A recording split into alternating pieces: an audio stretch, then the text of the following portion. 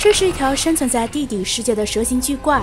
此时此刻，它非常的饥饿，火焰是它的武器，就连小小的一口唾沫都能让你瞬间灰飞烟灭。海伦和威尔的处境相当的危险。在上一期中，异形庇护所意外得知，地球的中心还隐藏着另外一个神秘的地下城。这个城市既古老又发达，他们的科技远远领先于现代人类。一百多年前，海伦开枪杀死了邪恶的化身博士艾达，没想到艾达的尸体随着地底的河流一路来到了地下城。善良的居民们复活了艾达，并赐予他长生不老的能力。野心勃勃的艾达重振旗鼓之后，回到了地表世界。将海伦的庇护所搅动得天翻地覆。一番斗智斗勇之后，海伦患上了严重的辐射病，命不久矣。唯有地下城才有拯救她的解药。事不宜迟，为了拯救海伦的性命，组员们只能全副武装，前往大雪纷飞的安娜布尔纳山脉。那里便是地下城的唯一入口。古老的楔石嵌入布满苏美尔语的墙壁，这道铸造了上千年的石门应声开启。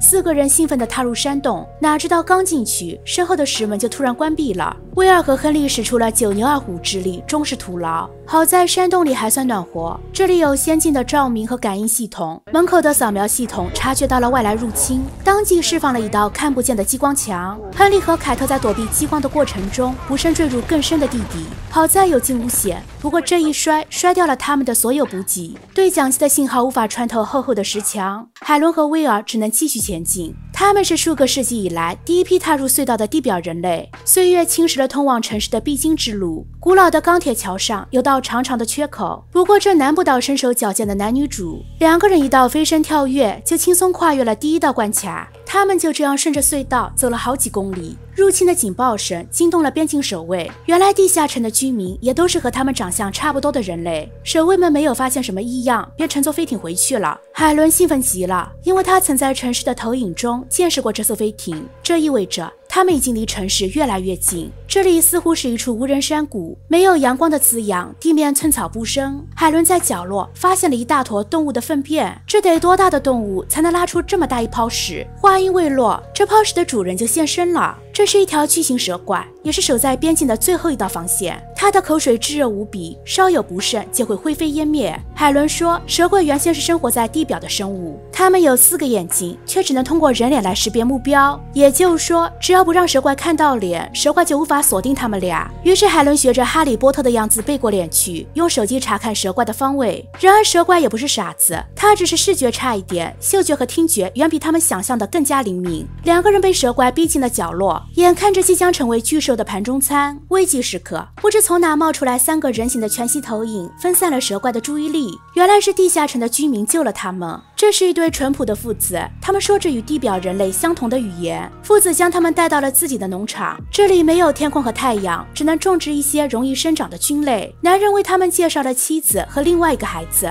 对于从地表来的人类，一家人都非常的好奇。妻子为二人准备了精致的食物，虽说远不如地表的食物丰富，不过至少能够填饱肚子。很久很久以前，他们的祖先为了躲避战乱，来到了地下世界。他们从小就听父辈们说，地表的人类非常的好斗。那是一个科技和医疗都很落后，时常会发生战争的世界。这边的海伦和威尔过得还算自在，另一边的亨利和凯特就没这么幸运了。亨利受了伤，他们没有导航，只能凭着感觉在一堆乱石间到处乱窜。走了很久很久，又累又饿的两个人，终于碰到了两个穿着长袍的大活人。凯特兴奋极了，然而招呼的话还未说出口，他们就被两个陌生人惊晕了过去。画面转到海伦和威尔，酒足饭饱之后，他们来到了地下城的车站。这里的交通工具很特殊，是一个类似于弹珠般的巨型球舱。这颗球正在以不可思议的速度进行垂直和水平运动。他们不知道这颗球会将自己带往何处。威尔仿佛被关进了一个大陀螺，转得晕头转向。他总觉得这一切都太顺利了。按理说，地下城的人类科技这么发达，怎么会丝毫没有察觉他们的到来？威尔是个手无缚鸡之力的花瓶，不过这张乌鸦嘴就跟开过光似的。果不其然，这颗球刚停下，他们就已经被地下城的守卫重重包围了。刚落地就成了囚犯，惊不惊喜，意不意外？这座人烟稀少的城市没有太阳，却处处透露着高科技的质感。就这样，四个人一前一后被关进了同一间囚室。不过总算是团聚了。这个地方固若金汤，想逃出去无异于天方夜谭。守卫将他们带到了会客厅。这个女人便是地下城的女王大人。女王大人并不欢迎闯入者，为了维护整个地下城的秩序，她二话不说就判了四个人死刑，连个申诉的机会都不给。没想到地下城的审判居然如此的草率，简直比独裁还要独裁。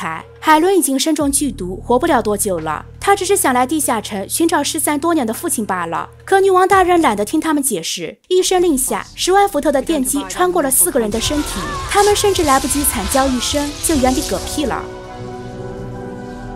画面转到异形庇护所。光头强和特斯拉已经很久没有收到海伦的消息，急得如同热锅上的蚂蚁。他们只能低声下气找艾达这个大反派帮忙。艾达在地下城居住了一百多年，他熟知城市的地形，很快就划出了一片防护盾较为薄弱的区域。事不宜迟，光头强当即带着艾达穿越到了地下城的郊外。他跟着艾达来到了一处洞穴，突然身边冷不丁窜出好几个斗篷人，这里都是磁铁矿，光头强无法施展瞬间穿梭的异能，就这样成了艾达的阶下囚。原来这里是艾达的秘密基地，反派就是反派。光头强还是大意了，有那么一个瞬间，他居然天真的以为艾达已经改过自新了呢。艾达野心勃勃，此时此刻，他的内心酝酿了一个更大的计划。原来艾达在地下城生活了一百多年，早已受够了这里的规则。不久前，他因为谋反被放逐到了地表世界。之所以利用光头强回到这里，是想继续自己的计划，推翻女王的政权，自立为王。许是察觉到艾达已经回来了，女王突然改变了主意，又将海伦一行人给复活了。他们的科技很发达。任何疾病都能治愈，更别说起死回生了。反正不是第一次杀错人了，他们早就习惯了。海伦来这里是为了寻找失散多年的父亲，是父亲将地下城的信息植入威尔的梦境，指引他们来到这里。原来他的父亲是地下城的科学家，因为向外界泄露了地下城的秘密，现在成了通缉犯。女王也在到处找他呢。一百多年前，女王救治了已经死亡的艾达。没想到艾达恩将仇报，居然想推翻他的政权，将整个城市搅动得天翻地覆。从此以后，女王就特别痛恨地表人类，这才不管三七二十一，先把海伦一行人处死了再说。地底的热能便是整个城市的动力，可最近能源似乎出了点问题，导致整个城市不断出现地震，各种内忧外患让女王头疼不已。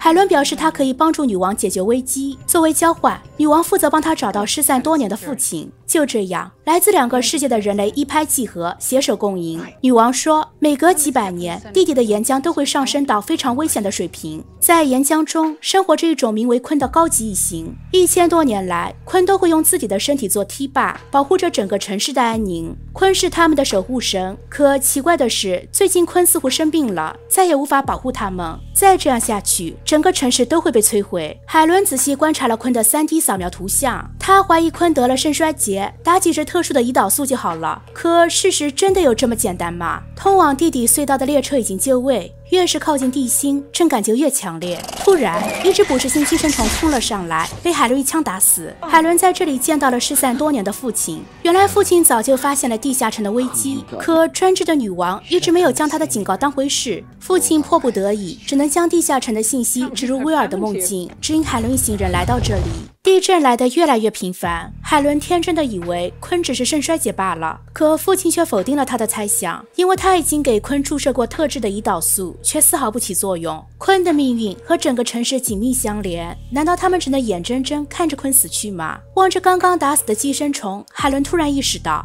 或许是地震震坏了虫子的巢穴，使得寄生虫倾巢而出，其中一只寄生在了鲲的身上，这就需要外科手术来除掉它。只见鲲正躺在滚烫的岩浆里，发出痛苦的呻吟。海伦切开了鲲的病灶，鲲因为疼痛挣扎了一下，女王一个趔趄，差点灰飞烟灭。巨兽用自己的身体守卫着地下城的人类上千年，他自然知道人类是善意的。海伦切开了厚厚的脂肪层，徒手掏出了寄生虫。